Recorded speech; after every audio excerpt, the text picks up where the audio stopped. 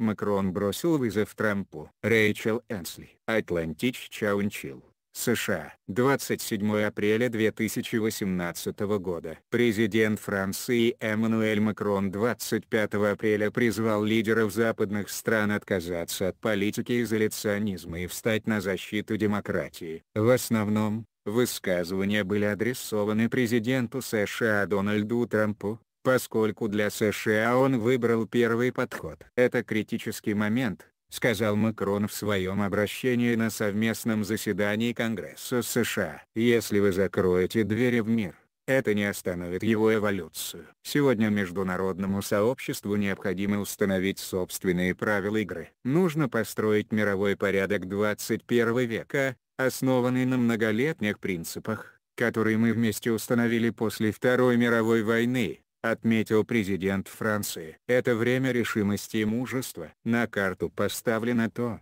что мы ценим в форме мотивационных высказываний иронической критики. Макрон изложил видение этого нового мирового порядка. Он должен основываться на международном сотрудничестве и взаимопомощи. Мы можем укрепить мировой порядок новой системы многосторонних отношений добавил он. До этого Макрон два дня проводил частные встречи и появлялся на публике с Дональдом Трампом. Это первый официальный визит президента Франции при администрации Трампа. У Франции и США не сходятся взгляды на ряд международных вопросов. Несмотря на это, Макрону удалось поддерживать теплые отношения с Трампом, что удается мало кому из его европейских коллег. В своем обращении, Макрон рассмотрел вопросы, по которому Европа и Соединенных Штатов, разногласия, от торговли до изменения климата и ядерной сделки с Ираном.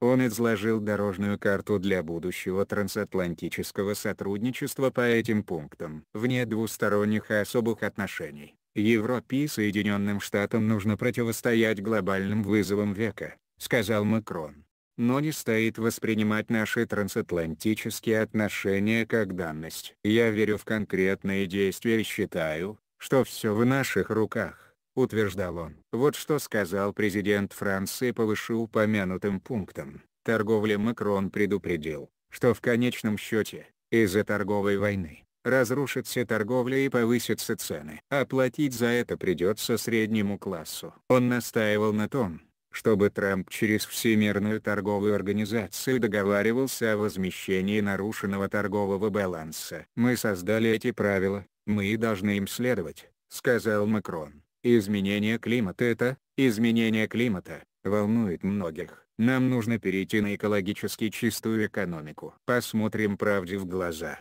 У нас нет планеты Б. Когда в декабре 2017 года Трамп объявил о своем решении вывести США из Парижского климатического соглашения, Макрон отреагировал мгновенно. Он пригласил американских ученых продолжить работу над решением проблем изменения климата во Франции. Соединенные Штаты остаются одной из двух стран. Вторая, Венесуэла, которые не подписали Парижское соглашение. Макрон признает, что у них разные взгляды на этот вопрос, но, тем не менее, призывает Соединенные Штаты возобновить дискуссию и тоже поучаствовать в решении. «Да, по этому вопросу у нас бывает разногласия», — сказал он.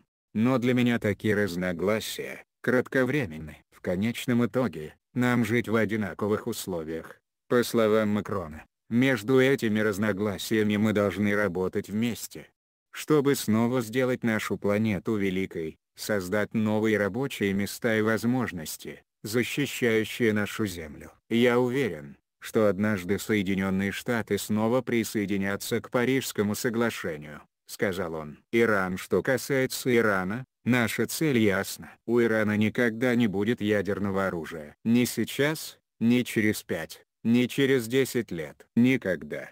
24 апреля, на совместной пресс-конференции с Трампом, Макрон представил план новой сделки по ограничению ядерной деятельности Ирана. Трамп выражал недовольство существующей ядерной сделкой с Ираном еще со времен своей избирательной кампании. Он назвал совместный всеобъемлющий план действий, ИЧП, очень плохой сделкой и заявил, что разорвет ее. Эти угрозы усилили напряженность между Вашингтоном и Тегераном. Это правда, что соглашение не решает всех проблем, сказал Макрон.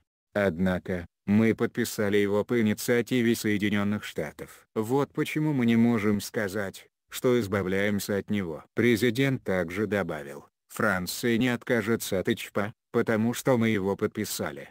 12 января Трамп подтвердил, что Иран соблюдает условия сделки, и отказался от санкций, но заявил, что без внесения изменений в условия договора, подобные действия не повторятся. Трамп дал пять месяцев Конгрессу США и европейским союзникам, чтобы убедиться в соблюдении своих условий. Этот период закончится 12 мая. Все стороны в неведении, будет ли повторная волна санкций, выйдет ли США из договора, непонятно. Новая сделка Макрона, кажется, удовлетворяет интересы всех сторон. Его план основан на четырех пунктах.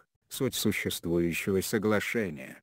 Быть уверенными, что после 2025 года, у Ирана не будет ядерной активности, сдерживать военное влияние иранского режима в регионе и отслеживать баллистическую активность. Ирана. Макрон призвал Соединенные Штаты остаться в ИЧПА в рамках новой предлагаемой сделки. Я думаю, мы можем вместе работать над этим договором который касается целого региона. Справедливо заметить, что она является и нашей проблемой, сказал он. Северная Корея нам нужно более чем когда-либо быть строже со странами, которые хотят заполучить ядерную бомбу. Франция полностью поддерживает подход Соединенных Штатов, через санкции и переговоры склонить Пхеньян к уничтожению ядерного оружия на Корейском полуострове. Макрон недвусмысленно поддержал все усилия США по уничтожению ядерных угроз не только в Иране, но и во всем мире. Ближний Восток мы не позволим отсутствию правил восторжествовать. Конфликт на Ближнем Востоке тоже будет окончен. Макрон настаивал на том,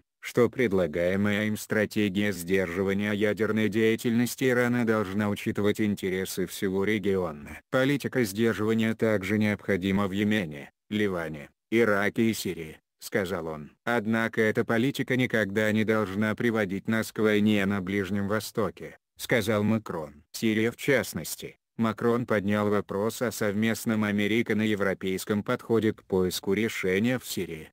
13 апреля Франция, Соединенное Королевство и Соединенные Штаты нанесли совместный удар по авиабазе в Сирии. Это был ответ на химическую атаку сирийского режима по гражданским. В 2017 году Трамп уже наносил авиаудары на Сирию, также в ответ на химическую атаку. В то время Соединенные Штаты действовали в одиночку. Значит, Штаты отходят от привычной политики. Соединенные Штаты, Франция и Великобритания действовали сообща, чтобы уничтожить объекты по разработке химического оружия и восстановить целостность международного сообщества. Это действие было одним из лучших подтверждений многосторонности отношений, сказал Макрон.